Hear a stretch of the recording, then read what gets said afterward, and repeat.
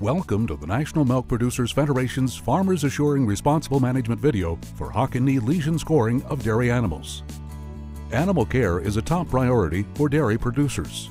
While our industry has an excellent track record of responsible management practices, we need to work together to reassure consumers that we care for the safety, comfort, and well-being of our animals, and that the dairy products we produce are safe, wholesome, and nutritious. That's what the National Dairy Farm Program is all about voluntary and open to all producers.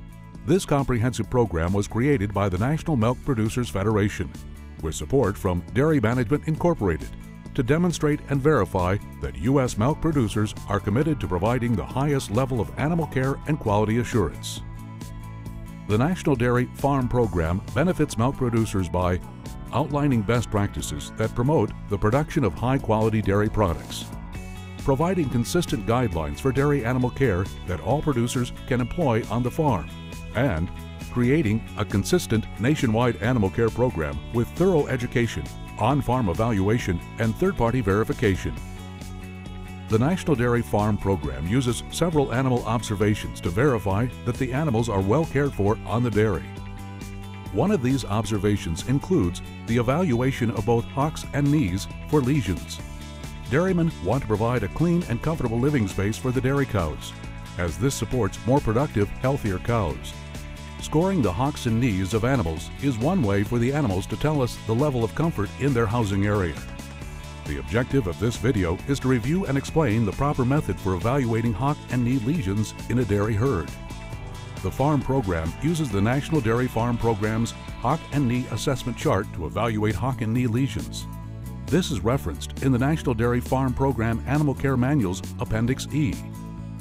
It may be helpful to use the farm program's scoring reference guide when evaluating animals on farm. The guide contains both pictures and definitions for reference as you view animals. Remember, animals need to be observed from several angles. The goal of the farm program is that 95% or more of the lactating and dry herd score a 2 or less when utilizing the National Dairy Farm Program's hock and knee lesion scorecard.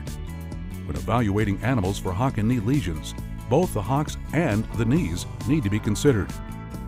It is also important to look at both outside and inside the hocks, as there can be problems on either side.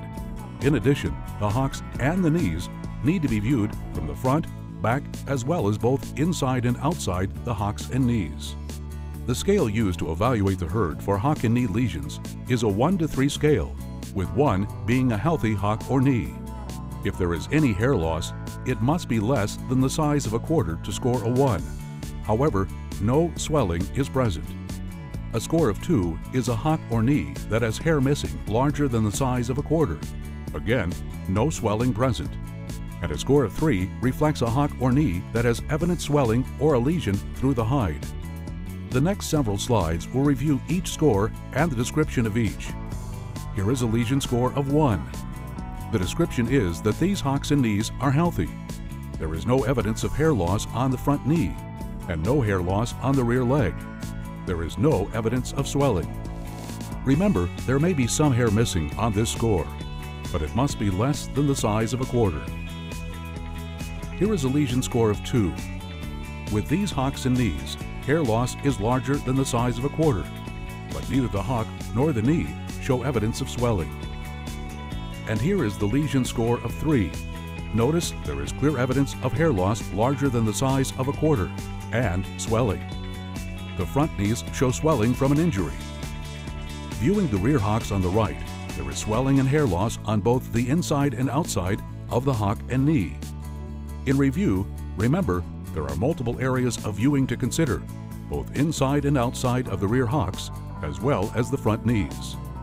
As is evident on this animal, there is hair loss in two spots, on the rear hock and on both front knees.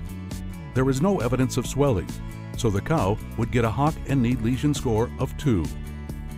The hock and knee lesion scale is a 1 to 3 system, with 1 being a healthy hock, having any hair loss less than the size of a quarter and no swelling. A score of 2 has hair loss that is larger than the size of a quarter and no swelling present. And a score of 3 includes evident swelling or a lesion through the hide. The National Dairy Farm Program's goal is that 95% or more of the lactating and dry herd score a 2 or less. The objective of this video is to demonstrate hock and knee lesion scoring to the viewers. We hope that you now feel comfortable evaluating and scoring hock and knee lesions on animals across the farm.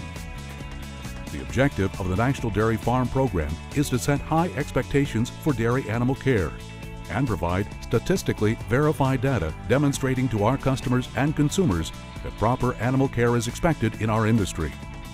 For more information, visit www.nationaldairyfarm.com.